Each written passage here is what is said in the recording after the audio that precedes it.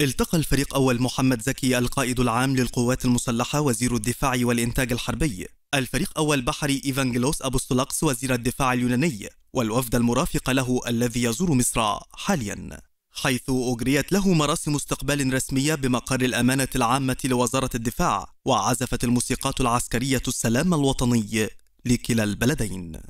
تناول اللقاء تطورات الأوضاع بالمنطقة والمتغيرات على الساحتين الإقليمية والدولية. وانعكاسها على الأمن والاستقرار بالشرق الأوسط. وسبل تعزيز التعاون والعلاقات العسكرية بين القوات المسلحة لكلا البلدين. كما بحثا الجانبان أوجه التعاون في المجالات العسكرية والتدريبات المشتركة بين مصر واليونان وتبادل الخبرات بين الجانبين في مختلف المجالات.